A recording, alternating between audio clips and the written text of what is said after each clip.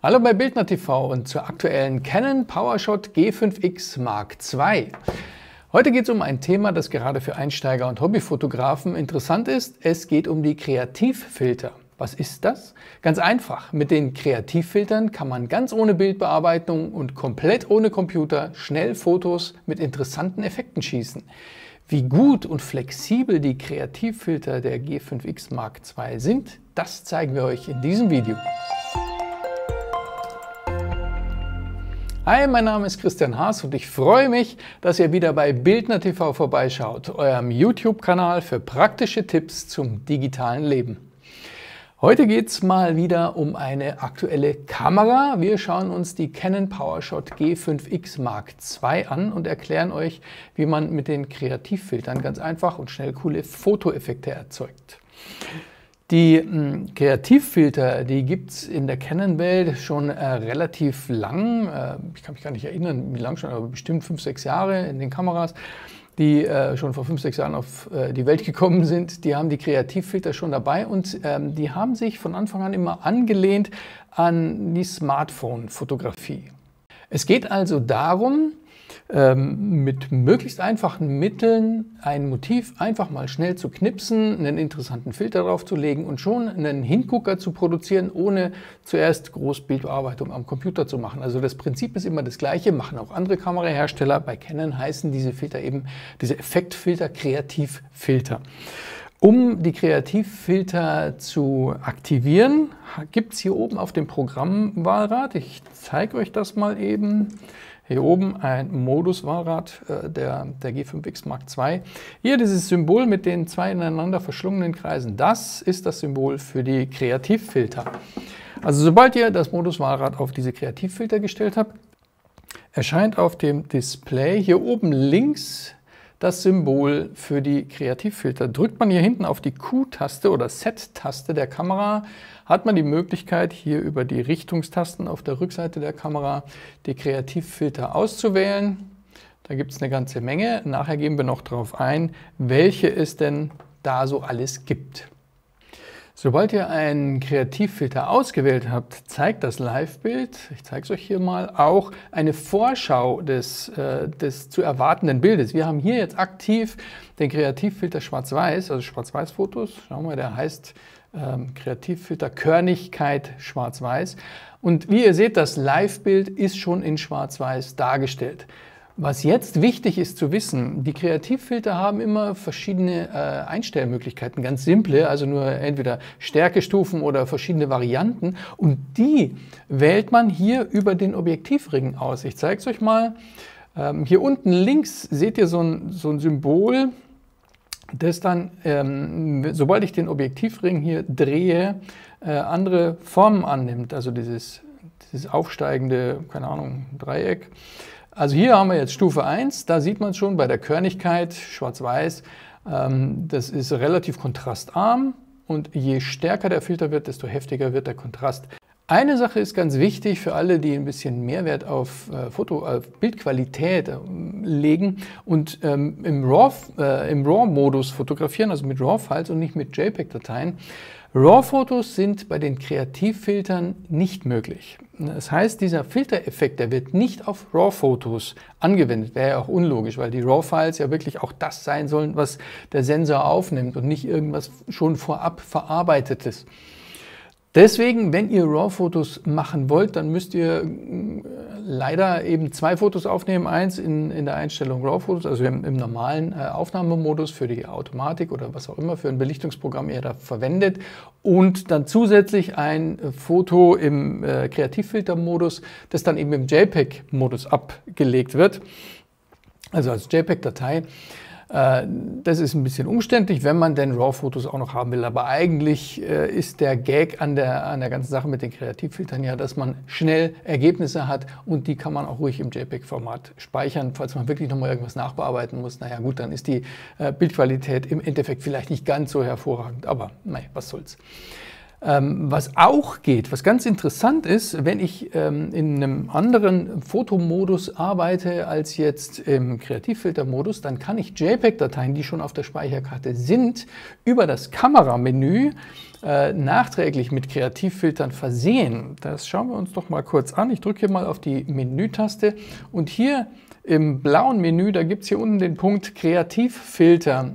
Sobald ich jetzt hier drauf drücke, auf, also über die Set-Taste das Menü auswähle, dann sucht er mir kompatible Bilder und hier kann ich jetzt auch wieder über einen Druck auf die Set-Taste Kreativfilter auswählen, die ich vorher im Prinzip auch hatte, mit einer Ausnahme hier dieser Ölgemälde-Effekt. Den gibt es nur hier im Menü und nicht äh, über das normale Setup, der, äh, also über den, den Aufnahmemodus Kreativfilter. Die Ölgemälde sind ein bisschen rechenintensiver und das funktioniert offenbar nur über die Kreativfilter im Kameramenü.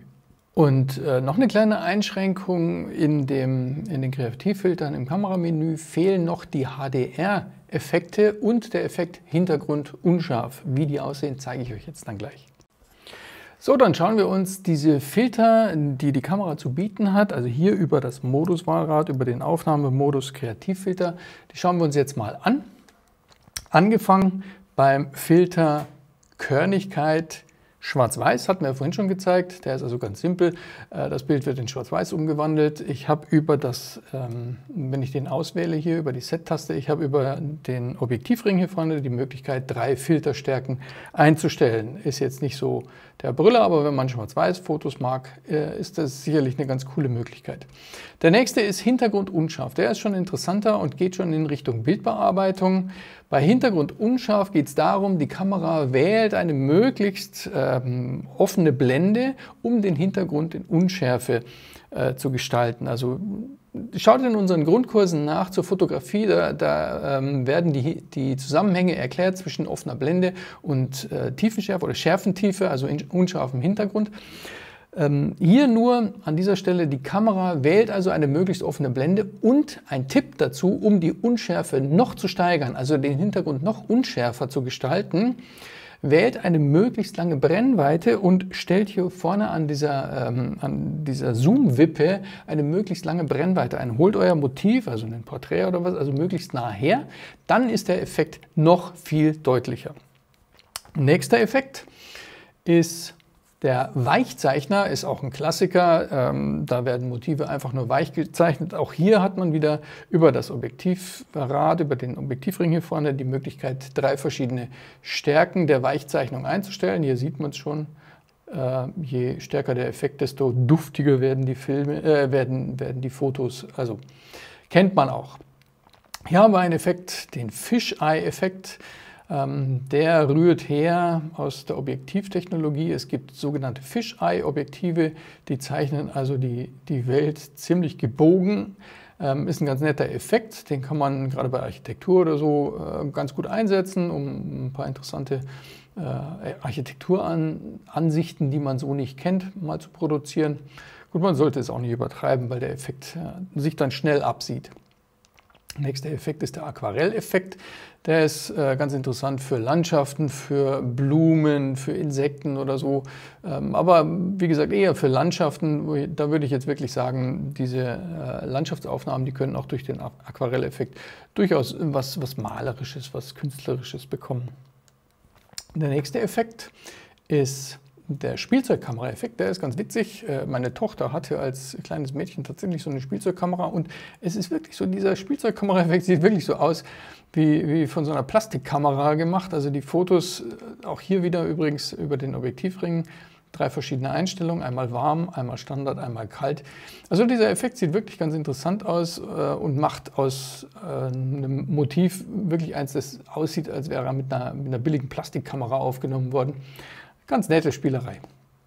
Der nächste Effekt ist der Miniatureffekt. Dazu, der Miniatureffekt hm, erzeugt im Bild hm, einen Bereich, der scharf abgebildet ist und alles, was drüber, was drunter ist, wird unscharf.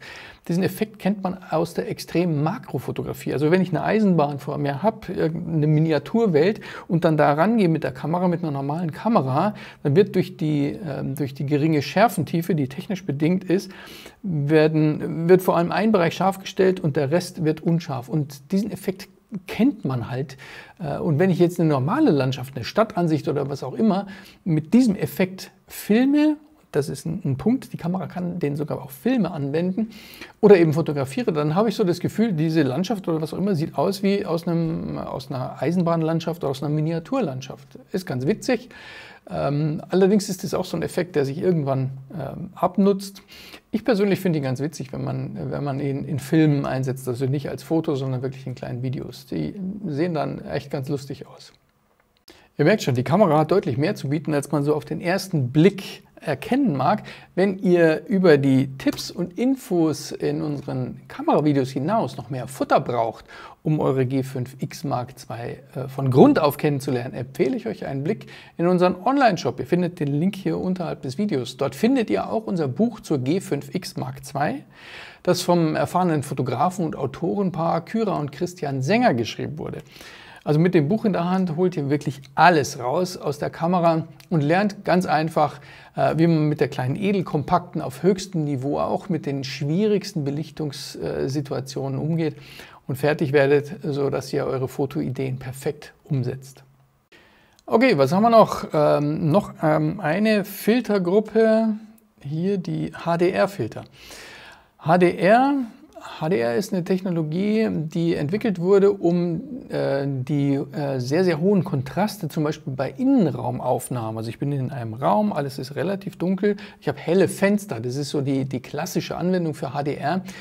Ähm, ich muss diesen Kontrast irgendwie so in den Griff kriegen, dass die Kamera ihn aufzeichnen kann. Weil eine normale Kamera kann diese Kontraste nicht aufzeichnen. Das heißt, entweder ist der Innenraum gut belichtet und die Fenster werden knallweiß oder umgekehrt, der Blick aus dem Fenster raus ist schön belichtet und der Innenraum ist pechschwarz. HDR ist eine, eine Technologie, bei der mehrere Aufnahmen kombiniert werden, um eben diese verschiedenen Kontraste, um, um die verschiedenen Helligkeitsstufen in einem Bild zu bündeln. Das ist jetzt eine ganz einfache Erklärung.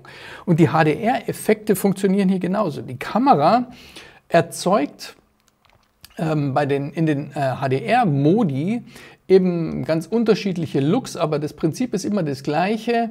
Es werden mehrere Aufnahmen kombiniert, um eben einen sehr, sehr hohen Tonwertumfang zusammenzubauen und dann zu einem Bild zu machen. Also man kann über diese HDR-Funktion, ähm, zum Beispiel mit HDR-Standard, einfach nur den Kontrast, den ein Motiv hat, äh, in den Griff bekommen. Die anderen Modi, HDR gesättigt, HDR markant und HDR Prägung, sind unterschiedliche Bearbeitungen. Da werden die, die Farben und die Kontraste äh, je nach Modus eben anders gesteigert. Da muss man gucken, ob einem diese Effekte wirklich gefallen.